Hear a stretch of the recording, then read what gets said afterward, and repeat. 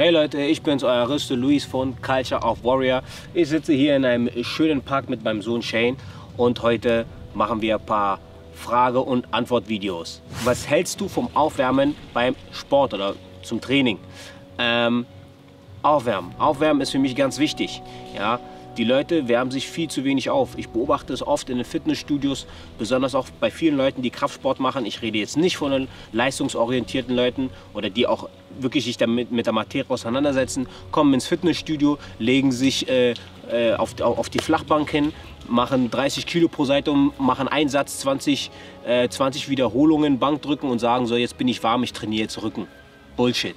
Ja, genauso wie im Kampfsport, ob wir uns jetzt mit Springseil warm machen, Schattenboxen, leichtes, kurzes Andehnen, um die Muskeln in Aktionsbereitschaft zu versetzen. Ja, wärmt euch auf. Ich habe äh, persönlich auch oft die Erfahrung gemacht, durch das Nicht-Aufwärmen habe ich mir selber persönlich viele Verletzungen zugezogen. Ja, für mich sind die schlimmsten Verletzungen, mit denen ich bis jetzt zu kämpfen hatte, Reizungen und Entzündungen, weil jeder Arzt dir sagt, naja, wissen Sie was, Herr Luis, machen Sie doch einfach mal äh, 14 Tage Pause. Nach 14 Tagen ist dieser Mist immer noch nicht weg. Ja, so jeder andere Physiotherapeut sagt mir, du, pass auf, du hast dich einfach nicht ordentlich warm gemacht. Ja, Tennisarm, Entzündungen in den Knien, da fängst du gleich an, Kniebeugen zu machen.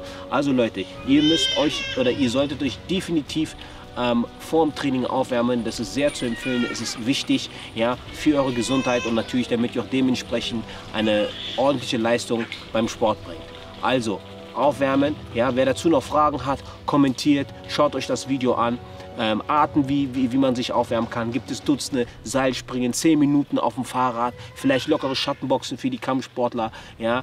Bringt euren Herzkreislauf in, in, in, in, in Wallung ja? und dann könnt ihr an die Geräte. Und dann, ich garantiere euch auch, selbst beim Krafttraining, beim Kampfsport, beim Fußball, ja, dann merkt ihr, wenn ihr warm seid, wenn der Muskel warm ist, dann bringt ihr wirklich optimale Leistungen. Okay, Leute?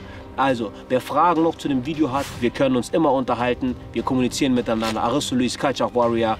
Peace.